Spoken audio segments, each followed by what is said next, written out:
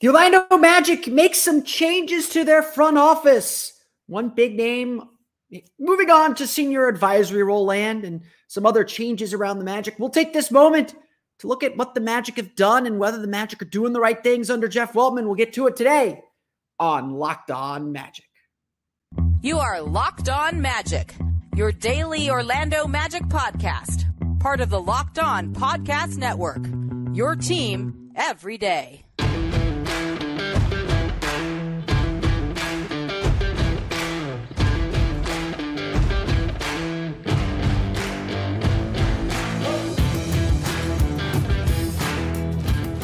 And you are indeed locked on magic. Today is July 6, 2023. My name is Philip Rossman-Reich. I'm the expert and site editor over at OrlandoMagicDaily.com. Of course, follow me on Twitter at PhilipRR underscore OMD. On today's episode of Locked On Magic, the Orlando Magic restructure their front office. We'll go over some of those changes, what they mean, what they may not mean, and and and why they're maybe a little more cosmetic than we think. We'll get to all that. Plus, kind of take another global look at Jeff Weltman and whether he has the Magic moving at the right pace. I'll go over some of the common criticisms of his tenure. Some I agree with, some I don't. Um, and whether the Magic are doing things at the rate that they should be. We'll get to all that coming up here in just a moment. First, we want to thank you again for making Locked On Magic part of your day every day. No matter when you listen to us, whether it's first thing in the morning, whether it's right when we upload, we truly appreciate you making Locked On Magic part of your day every day. Remember, there's a great Locked On podcast covering every single team in the NBA. Search for Locked On and the team you're looking for, the Locked On Podcast Network. It's your team every day. We got the news uh, Wednesday morning that the Orlando Magic are restructuring their front office. Um, it's it's a few a promote. It is a few promotions. It is one senior member moving to special advisor world. Um, it's a lot of title changes, um, and and there surely are some others that weren't worth announcing in a press release because so much of what front office executives do doesn't always register with the public, and and and even like I have an idea of what everyone does on the team, but there are different different pieces of this puzzle. So let's get through the news first. Let's get through the news and, and what the Magic did on Wednesday. The Orlando Magic are run by obviously President Basketball of Operations Jeff Weltman, but ever since he came over, he brought with him former Milwaukee Bucks general manager John Hammond. Between the two of them, they've been in the league for more than 30 years. Hammond was, you know, a, a quasi mentor. He's someone that's been in the lead chair. He drafted Giannis Antetokounmpo. Um, while Jeff Weltman had more than 20 years in the NBA before he took the Magic job, this was his first job in that lead chair. And so having Hammond by his side, Magic fans refer to the Magic front office as Weltham, having Hammond by his side certainly influenced some of his philosophy and some of his drafting philosophy. We we we, we all love the length jokes and the and the and the wingspan jokes. Um, but Hammond was Hammond essentially was the right hand man for Jeff Weltman. But now it's Jeff Weltman alone, or not alone, but he does not have that right hand man with him every day. The Magic announced that John Hammond is moving on to special advi- to a special advisor, to a special advisory role. And this is essentially retirement with one foot still in the pool. Um, it, it, it means that Hammond is not going to be there for the day to day, but will be there when Weltman needs him. Um, John Gabriel, former Magic general manager, is also in a special advisory role. He shows up at some practices. He shows up, especially around draft time he's just there to give advice. He's just there to kind of give different perspective, to give kind of that global perspective, as well as share his experience. Um, and look, it's it's a nice thing to to be able to go to your Rolodex and have two former. I, I, I know John Gabriel won executive year. I'm pretty sure John Hammond won one at 1.2. Um, it's good to have those guys in your corner and guys that you know are still exclusive to the Magic. Um, I don't imagine that the relationship here changes very much. You know, John Hammond is still a very experienced executive in this league. He's still someone that Jeff Weltman can rely on for guidance, for advice, for just bounce ideas off of. Um, the only difference is that he's probably not going to be in the office every day um, like he was before. To make do to, to kind of replace that, the Orlando Magic have named Anthony Parker as the team's general manager. Anthony Parker has actually been with the Magic organization before Jeff Weltman arrived. He was a scout with the team. He's a longtime NBA player, including with the Orlando Magic back in 2000, as well as a Euro League MVP on the court. He's been behind the scenes with the Magic for a very, very long time. Started off as a scout. When Jeff Weltman arrived, they promoted him to or moved him to the Lakeland Magic. He was the general manager of the Lakeland Magic.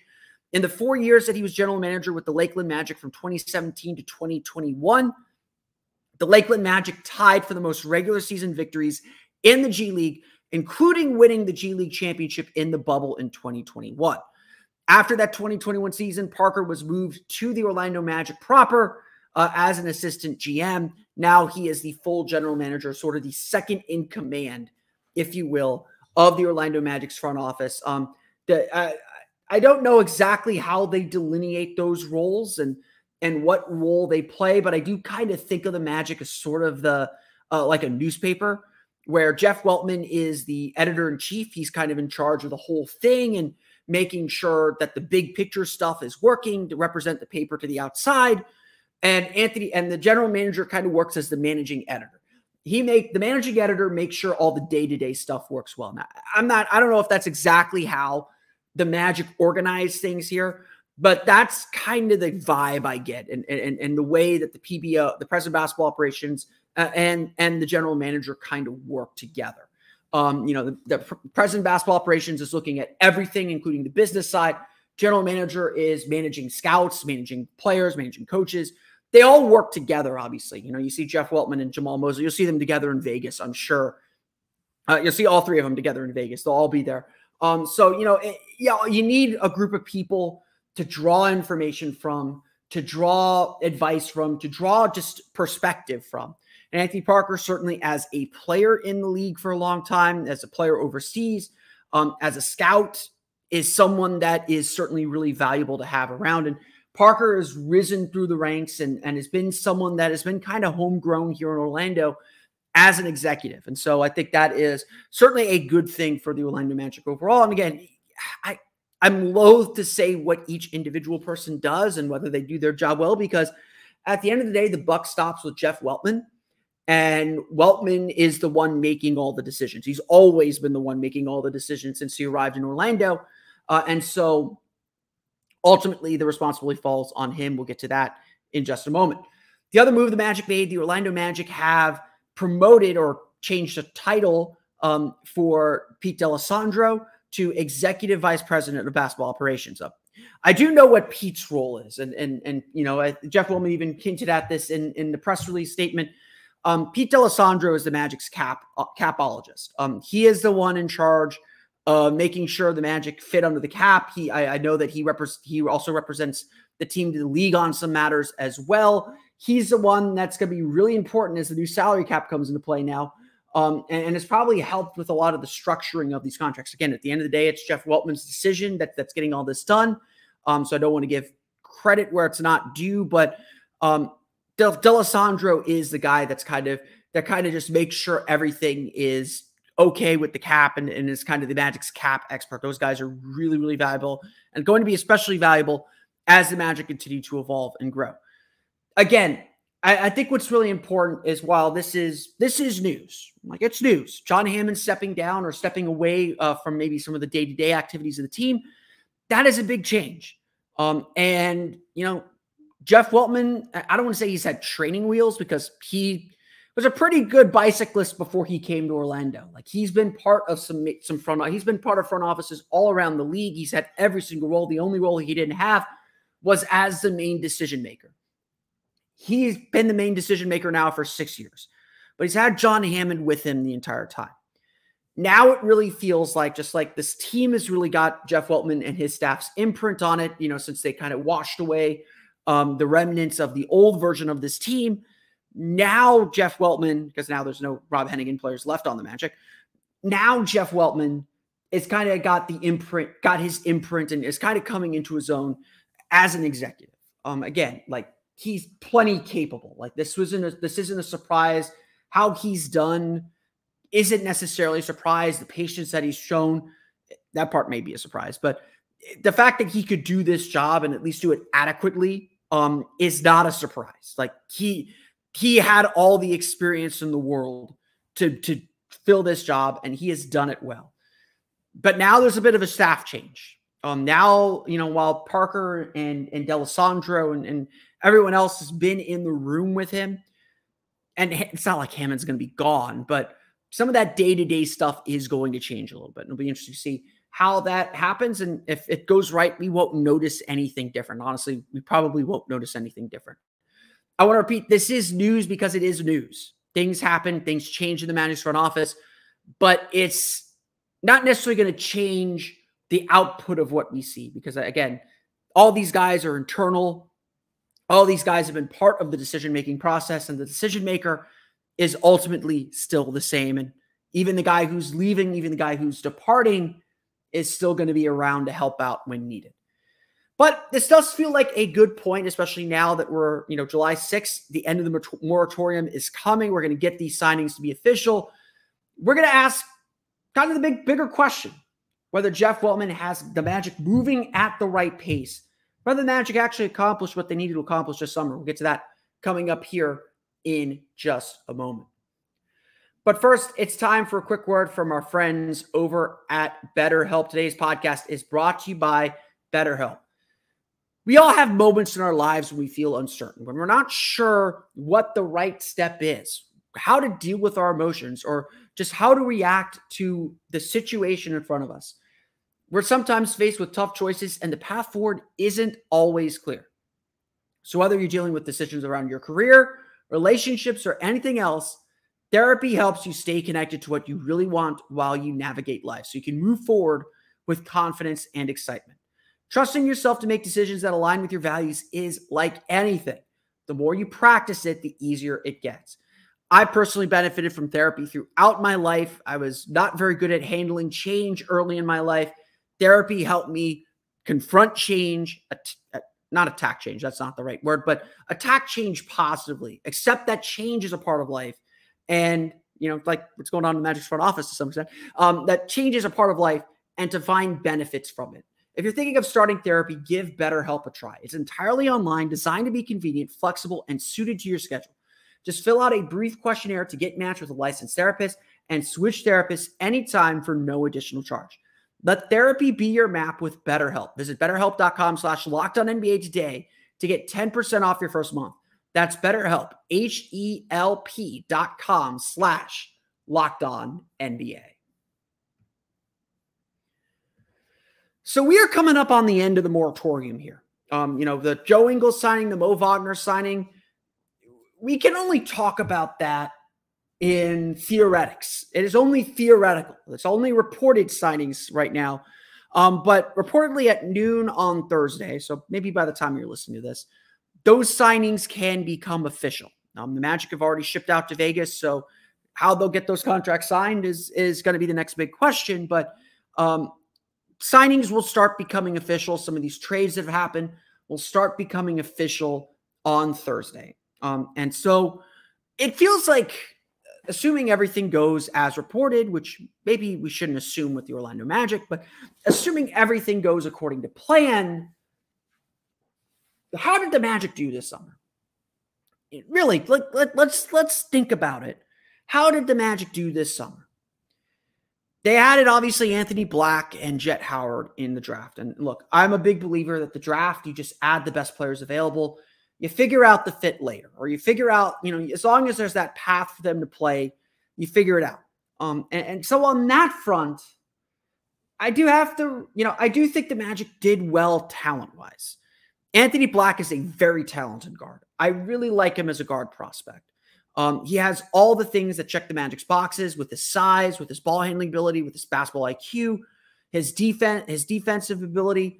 He checks a lot of boxes, and so I, I, I do think that's ultimately going to be a solid pick for Orlando. The bigger question was picking Jett Howard. While he does fill that shooting need, there are a lot of questions about his defense, uh, you know, about his other intangibles around his shooting. But if he's got again, he fits the, the profile because he's got the size, he can move a little bit with the ball in his hands. There's a lot to like about Jett Howard. So the Magic, the Magic draft raised a lot of questions and wasn't necessarily for you know, certainly people questioned taking Jett Howard, and, and we'll see what, you know, again, I always say the their draft board, if he's the top guy on their board, take him. It, I don't care that they overdrafted a guy. Um, if he's their guy, take him. And again, we'll see what the results are. Um, we'll see if there was a road not taken that the Magic should have taken. Um, that's what you know. This is all just guessing at the end of the day, and Jett Howard's as good a guess as anyone else. Um, the drafting of two guards, though, did raise some serious questions. Um, questions about how this rotation is going to work. How do you get Anthony Black and Jett Howard on the floor? And those questions are not easy to answer um, because there isn't a clear path for these two players to play, assuming Orlando keeps the whole rotation as it is. Um, not that the Magic needed to focus on needs in the draft. I said this throughout the draft process. Taylor Hendricks was probably the cleanest fit for the Magic. But if Anthony Black's the best player, you take him. And he can play a little bit of three. The Magic seem to be open to playing him at the three a little bit because he has that size. Then, you know, maybe that's the direction they go. But that, I think, put a lot of emphasis on free agency. That put a lot of focus on free agency to fill those needs. And, and frankly, as much as I like the Joe Ingles signing. I do think that the Magic have left themselves a little bit exposed on the back end. And, and I, I do have to question what this Magic front office was able to accomplish here uh, in free agency, at least in this uh, effect. The Magic are going to rely on Jonathan Isaac to play. Um, you know, again, they have more information on it than we do. He might be fully healthy. He might be back in the gym. He might be 2019 Jonathan Isaac again, or tw- early 2020, or you know, tw- let's go 2019 calendar year Jonathan Isaac. They might be seeing that in his workouts and saying he's ready. We have faith. And if and if again, Jonathan Isaac goes out there and plays 80 games, so be it. Magic are set at power forward. They don't have to worry about it. I don't know about you. I'm not willing to roll that dice um, after three years, but they have more information than we do. So we'll see. But I do think the Magic are a little exposed there. And I think that Magic did miss an opportunity, perhaps, to upgrade that backup center spot. Um, you know, again, I know I beat this drum a ton, but Wendell Carter is not going to. Wendell Carter's never played 65 games in a season. Um, so I do think the Magic had to plan a little bit for these injuries. They could not rely solely on these play on these players being healthy long enough to make the kind of push that they're looking to make. Having said that, I do think that bringing back Goga Bitadze and, and Wendell and Mo Wagner potentially could fill that need. Um, you know, I, I will not give the Magic a full failing grade on that because they trust Mo Wagner, obviously. Um, he gives them some offensive push. And Goga Bitadze had a really strong finish to the season. It wasn't enough maybe for me to believe wholly in it, and I would have looked for some uh, looked for an upgrade. And, and there were a few options that I thought were decent upgrades that, that they didn't pursue or, or, you know, weren't ever really in the running for, or, you know, didn't like, but they stuck with what they know. And that could play out well. Now, the Joe Ingles signing, I really like Joe Ingles as a player. I really like Joe Ingles as a player for this team. He's going to give them some outside shooting. He's going to give them some playmaking. He's going to give them a veteran to help these young guys get better every day. I really and and he's you talk, you go to go go listen to old episodes of Locked On Jazz. They love Joe Ingles in Salt Lake City. I'm sure they love Joe Ingles in Milwaukee. You know, Salt Lake, the Jazz were really heartbroken to let him go, and and his ACL injury um, back in the 2021 season derailed that Utah season. Uh, like completely derailed it. That he was playing really, really well. He was a great facilitator off their bench. It it ended. It, it didn't end their season, but it, it really hurt their season. And, and if and again, ACL injuries usually take a full year of playing to fully recover from. It's a year of, of rehab, it's a full year playing to get better. Yes, Ingles is 35, but we're in that full year period. He could be, if he can even sniff a little bit of what he was in 2021, the Magic have a really, really good player. And so I really like the add of a veteran, and I think Ingles can play a little bit of small ball for. But again, I think that the Magic the Magic really love continuity. And, and, at the end of the day, you look at this roster, the guys that they cut, Michael Carter Williams and Admiral Schofield, Admiral Schofield and Bol Bol. Bol Bol's the only questionable one. But they added two rookies who are going to help this team and, and could crack the rotation. And they added Joe Ingles. At the end of the day, I look at this offseason, and while I still have questions about what the Magic did and, and, what holes the Magic left open. And, and, and ultimately, like I think their goal is to be a factor in the postseason race and, and to improve. Improving means that they'll they'll start winning more games. Um, I do think that the Magic left themselves a little bit exposed, but I do think the Magic did get better. And so that is like the catch 22 the Magic are in. And I think that leads us to one of the bigger questions that the Magic have from this offseason is are the Magic moving at the right speed? Are the Magic taking full advantage of every opportunity in front of them? And I think that's a real question that we need to ask because, like I said yesterday, the clock is ticking. We're going to dive into that a little bit coming up in just a moment. Before we move into uh, the, our final segment, though, I want to remind you all to join our subtext community. Check check it out at joinsubtext.com slash locked on magic. It's like having my cell phone number in your phone book. You join sub if when you join subtext, you get a text from me. You can respond back. I will respond back to you. I'll send out messages as well, including game observations and plenty more. Now is the time to join Subtext before Summer League. Get all my Summer League thoughts, players to watch, players that impressed me, and so much more. Check it out at joinsubtext.com slash locked on magic. So this this uh off season was not the make or break off season. But after last season's mini breakthrough. I won't call it a full breakthrough, but after last season's mini breakthrough, it did feel like there was an opportunity to really hit the accelerator, to really kind of speed things up. And obviously, this is a fan base and this is a franchise that has spent the last decade not even fighting for scraps, fighting for after scraps. This is a franchise that is, this is a franchise and a fan base that are hungry for success. And so I, see this criticism often of Jeff Weltman, and, and, and it's it's born in something true. In that Weltman doesn't really do anything in his off seasons. And to this point, I say, yes, that is correct. The Magic, as an organization, have valued continuity. For a young team, they want stability. They want the same coach, they want the same players, they want everyone to be able to grow and progress together. And they kind of nibble on the margins to add players to their team. You know, they they you know, even before the 2021 trades, the 2021 trades are the, you know, kind of flipped everything on its head, but it was like turning an hourglass. The sand was running out on Vucevic, on Nikola Vucevic, Aaron Gordon, and Evan Fournier. They flipped it over, and suddenly all that time is reset, has reset itself. And the Magic see plenty of grains of sand left in that hourglass to kind of let things play out. And that's the approach that Jeff Weltman has kind of taken is continuity is going to help the team grow. At some point, though, and I think we all see it coming, at some point, though, the group you have is not good enough. At some point, you're going to have to push some chips in the middle. You're going to have to take a risk. And I think it's a fair debate and a fair argument to ask was this the offseason to do it?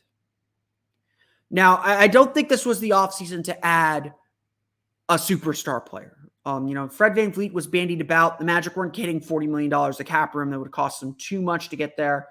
Um, so that idea was, I think, fairly quickly discarded once the market really began to set itself. Um, VanVleet, while I think would have really helped this team and done well, done good things, I don't think he was the guy the Magic are chasing.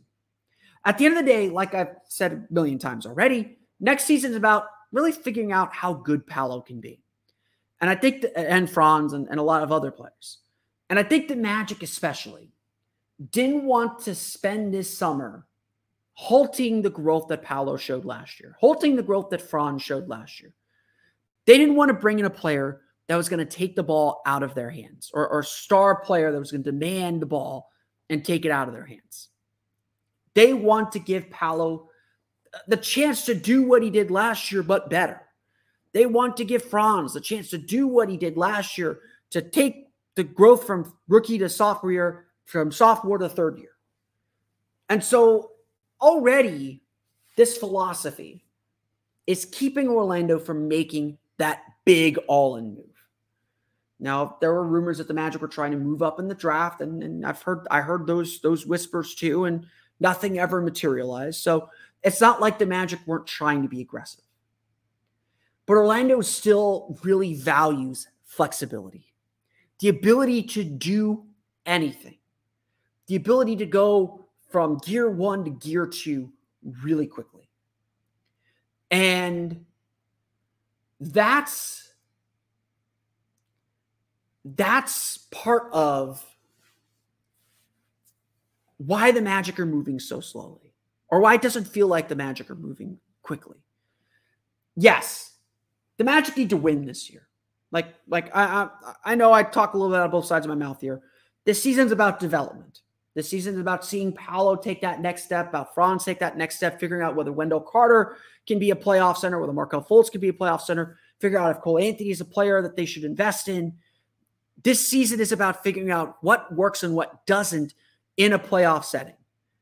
This season is about making the postseason so that the Magic can actually figure out what they need to do and how aggressively they need to go after it. Because if the Magic get to the sixth seed, all of a sudden, this team is ready.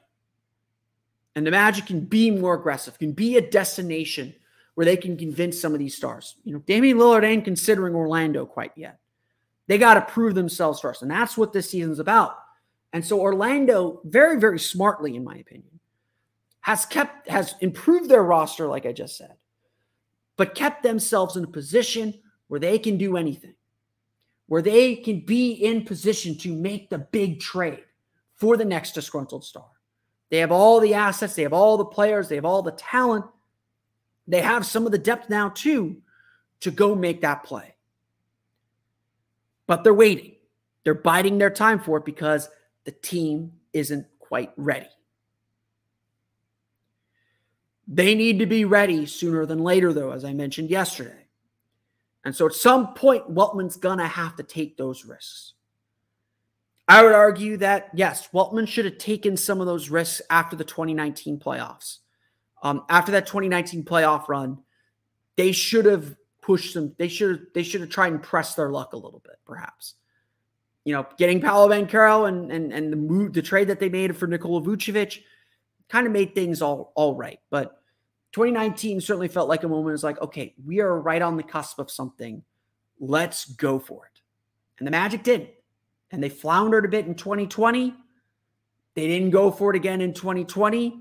And predictably, the Magic fell off the map or fell out of the playoff picture for whatever brief moment they were in it. The Magic aren't letting that happen again. But soon they're going to have to make some moves. For now, they might be going the right speed, but that engine better be ready to hum in a year. Because this team hopefully does its part on the court to open up some avenues to use all that well earned flexibility. I want to thank you all again for listening to today's episode of Locked On Magic. Of course, find me on Twitter at PhilipRR underscore OMD. Subscribe to the podcast and Apple Podcasts, Stitcher, TuneIn, Himalaya, Google Play, Spotify, Audacy, and all the Football Channel podcasts to your podcast-enabled listen device. For the latest on the Orlando Magic, be sure to check out OrlandoMagicDaily.com. You can follow us there, uh, there on Twitter at OMagicDaily, on OrlandoMagicDaily.com. Right now, a big article on Caleb Houstan, why it's important for him to have a great summer league. And on that note, for my everyday listeners, tune in tomorrow We'll go over the big stories and big things we're watching at Summer League over the next couple weeks in Las Vegas. The Magic's first Summer League game is Saturday um, against the Detroit Pistons. Should be a fun one um, going up against Ausar Thompson. But that's good to do it for me today. I want to thank you all again for listening to today's episode of Locked On Magic for Orlando Magic Daily and Locked On Magic. This has been Philip Rossman Reich. We'll see you all again next time for another episode of Locked On Magic.